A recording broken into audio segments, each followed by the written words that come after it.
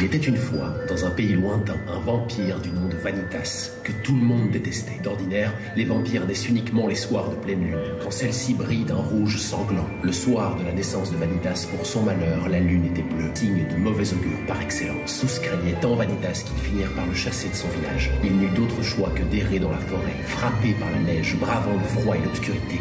Combien de temps marcha-t-il ainsi? C'est alors qu'il se fit une promesse. Un jour, il se vengerait de tous ces maudits vampires, menés sous une lune Je suis Vanitas C'est le vampire de la lune bleue en personne qui m'a légué ce nom et ce livre. Je vais vous prouver que je suis bel et bien du clan de la lune bleue. Regardez.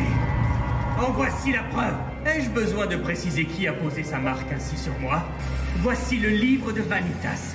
Un grimoire maudit qui peut en un instant vous plonger dans le plus profond des désespoirs et vous infliger un supplice pire que la mort en déformant votre nom véritable.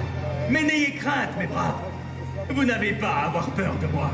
Au contraire, estimez-vous heureux que je sois là. Je fais partie du clan de la Lune Bleue, certes, c'est un fait. Mais entre mes mains, ce grimoire n'est pas une arme. Je ne l'utiliserai pas pour votre extermination, mais pour votre salut. La seule humiliation que vous aurez à subir, c'est d'attendre en frémissant qu'un simple humain vienne vous guérir. Car je me fiche de savoir ce que les vampires pensent de tout cela. Je vous sauverai quoi qu'il en coûte jusqu'au dernier. Et pourquoi? La raison est très simple. Pour accomplir ma vengeance envers Vanitas Vanitas de Vanitas, nos cartes participants numéro 11.